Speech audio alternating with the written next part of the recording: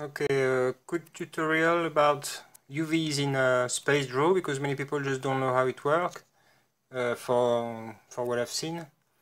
So, uh, this is an object I've been working on, it's nearly finished. This is modeled with Spacedraw and uh, unwrapped with 3ds uh, Max and I've been painting it this time using 3D Coat, but usually I, I was working, from before, let's say, before I had a computer again, I was painting with, uh, with Artflow. Unwrapping with 3ds Max, which takes some time because there's no dedicated tool to do that, so you have to do it manually in the viewport, which takes some time.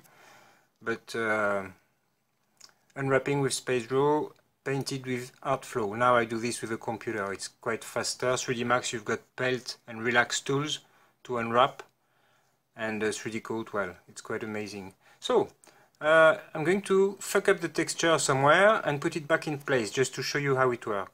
So I'm going to select, uh, I don't know, let's say this yellow object here. So I select one face, oh, I'm gonna work on this one, let's say. Okay, so select this object, sorry, select, invert, selection, view, hide selected. Okay, now I work only on the part I want to show you.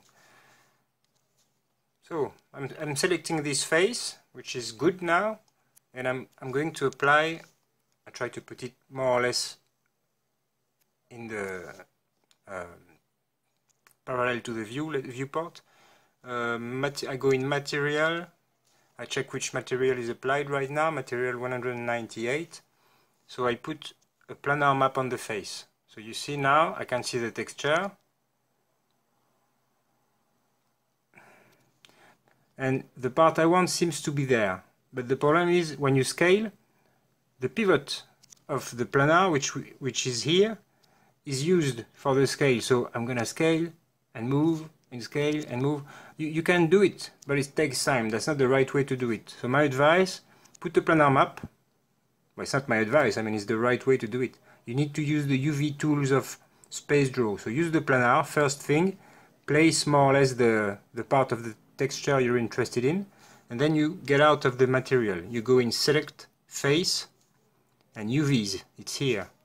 So this tool is a bit confusing because most of the UV tools in 3D programs are in a 2D viewport like unwrap UVW for 3ds Max. 3ds Max. Here you, you can do the same, the tool is very good, but it's in the 3D viewport. So at the beginning it took me some time to figure out how to use it properly, but it's it's really well made. So I need to work on this face. Now I'm going to put again a pivot, it's called ref position, but this pivot is not really, even if you're in the 3D viewport, try to understand that the pivot you put it on a pixel in your image. image. So let's say I want to snap the top left corner of this part here, the top left, I want to snap it on the corner of my face. So I'm going to put the ref position on the top left pixel, let's say, of the area that I'm interested in. And now I get out of ref position, I go in move, snap to vertex, and now I move my texture and I snap it in the corner. You see, space draw, just snap the ref position of the texture on the 3D object. And now when I scale, it's not like the planar map, when I scale, the pivot of my scale is the ref position, so it's very easy then to do that. You can rotate it if you need, and move it in the proper position. And that's all.